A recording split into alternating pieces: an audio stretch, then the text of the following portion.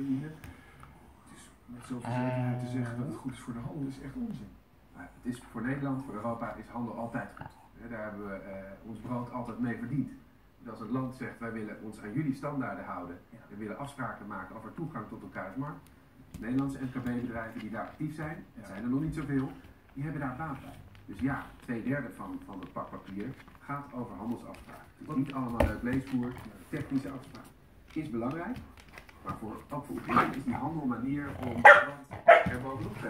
U ervoor en wat, wat toch een beetje onduidelijk blijft is waarom u als Partij van de Arbeid, ook de VVD